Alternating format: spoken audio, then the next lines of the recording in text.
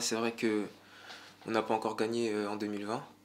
Mais euh, voilà, je pense que nous, au niveau euh, de notre état d'esprit, de notre travail au quotidien, on est sur les mêmes bases. Et voilà, on continue de travailler, on sait qu'à un moment, ça va tourner en notre faveur.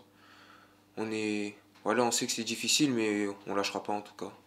C'est vrai qu'on était sur une belle dynamique avant la trêve.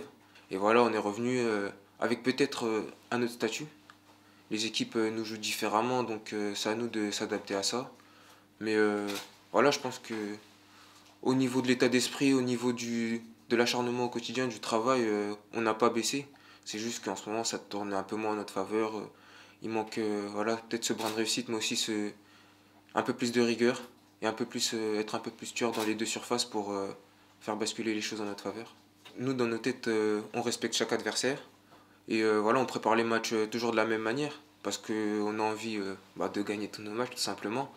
Mais je pense qu'on a une méthode de travail qui, qui a fait ses preuves jusque-là. faut pas non plus tout remettre en question parce qu'on on est sur une mauvaise série. C'est juste que, voilà, comme c'est comme ça dans le foot, à certains moments, il y a les choses qui ne tournent pas en notre faveur, il y a des cycles, et à nous de faire basculer les choses dans notre sens. Donc voilà, à nous d'avoir une bonne maîtrise technique, de finir les actions, de mettre, voilà, de de mettre la présence euh, offensivement, mais aussi, euh, comme on l'a dit, de mettre des sécurités quand on n'a pas le ballon, d'anticiper euh, des éventuels contres. voilà, c'est un match. tactiquement, je pense que ça ressemblera à ça. Après, on verra, on n'est jamais sûr.